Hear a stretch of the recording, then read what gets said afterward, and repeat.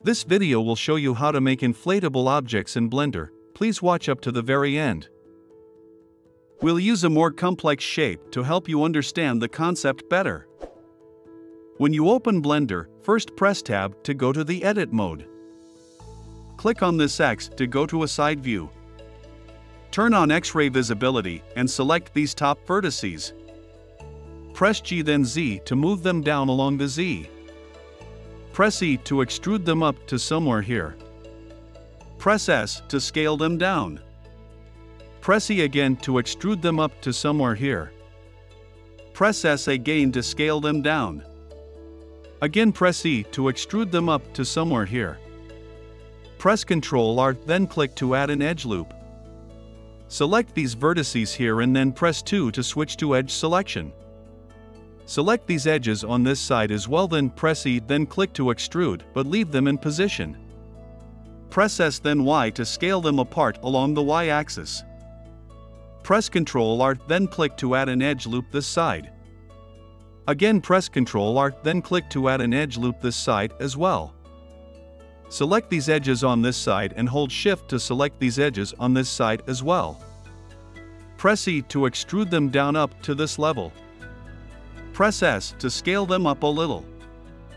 Now press Tab to go back to the object mode. You can turn off X-ray visibility for now. Go to the modifier properties and add a subdivision surface modifier. Increase the viewport levels to 5. Switch it to Simple and apply this modifier. Now press Tab to go back to the Edit mode. Press Alt then Shift and select the edge loops in areas where you would want to add bumps to during the simulation. Come to the Object Data Properties and click on this plus icon to add a vertex group. Click on Assign to assign them. Press Tab to go back to the Object mode. Now go to the Physics Properties and add a Cloth Physics. Scroll down and activate pressure. If you play it you'll see the shape falling down. Now increase the pressure to 40. If you play it you'll see it being filled with air. Now scroll down to Shape and under Pin choose Group. If you play it you can see it forming some bumps. To make it look even more stretched out, come to the shrinking factor and reduce it to a lower negative value. Now if you play it you can see some good looking results. You can press tab and go to the edit mode then select even more edges and assign them to the pin group for more interesting results. Now if you play it again you'll see more interesting results. If you zoom into the inside you'll see that some faces are crossing into each other. To fix that go back to frame 0 and come to the physics properties then scroll down to collisions and activate self collision. Scroll up to cache and reduce the simulation frame range to about 50.